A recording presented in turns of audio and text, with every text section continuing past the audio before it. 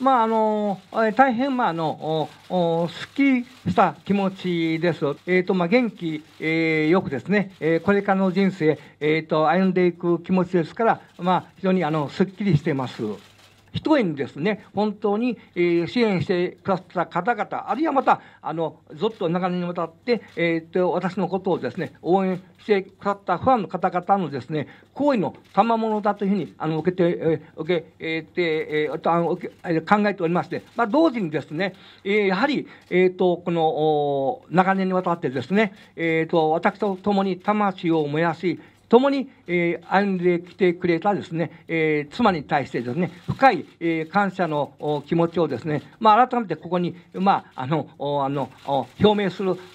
次第ですね。はい。昨年の12月の24日、これ、利用戦の、まあ、彼のデビュー戦だったんですけども、まず、えっ、ー、と、2つお感心しました。おやつの時間に私がですね、えー、チーズを食べ始めましたところですね、藤井四段がですね、ちょっと間を置いてですね、彼がね、チョコレートを食べ始めたんですよ。そこで私は非常にあの感心しました。というのは、藤井四段が先にチョコレートを食べて、私がチーズを後に食べてもですね、全くですね、これはマナー違反でもないし、失礼でもないんですけども、藤井四段がですね、私がね、チーズを食べ始めるのを待ってですね、彼が、えー、おやつを食べ始めたことに対しましてはね、非常にですね、好感を持ちまして、おこの藤井聡太四段はですね、なかなかですね、この、その、なんというか、その先輩に対する、まあ、あの、気遣いができてるなと思ってですね、非常に、あの、この、あの、感染しまして、もう一つはですね、えっ、ー、と、えっ、ー、と、対局中ですね、